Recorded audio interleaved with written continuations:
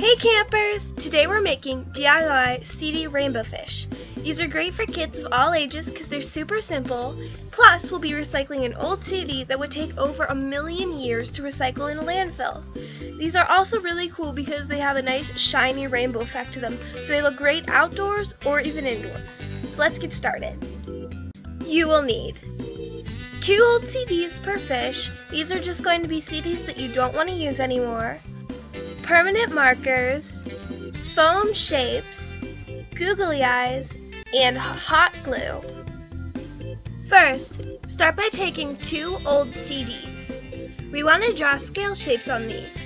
You can use a permanent marker and allow your kids to do this as long as you trust them with the marker. If not, make sure you do this as a washable marker will not work for this DIY. You want to keep going inward, making rows. But if your kids decide they want to go horizontally or vertical, that's totally fine. Just repeat this on both of your CDs.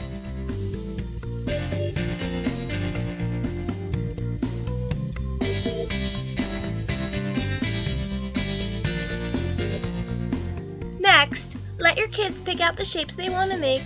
These will be for the mouth, tail, fins, top fin, and a bottom fin if you decide you want one. Really, it's up to them. Once you have your shapes, lay them out on your CD and figure out how they want you to glue them on.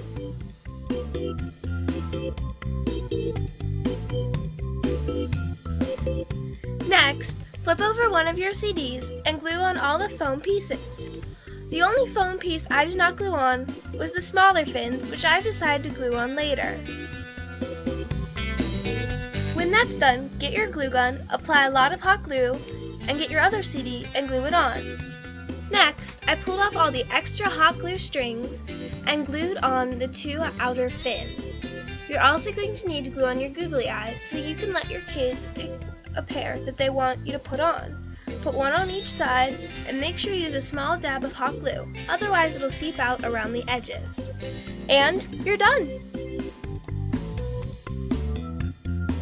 Now I didn't include either of these materials in my list, but if you want to grab some fishing line and scissors, you can cut a piece of fishing line, apply a small dab of hot glue onto the end, and stick it in between the two CDs, and then you'll have a piece of fishing line to hang your CDs with.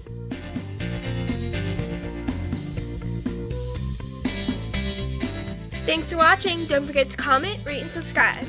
I upload every Wednesday and Sunday, so if you would like notifications in your inbox, make sure to subscribe. Thank you to all 95 of my subscribers. I hope to see all you guys next week, and thanks again for watching. Bye!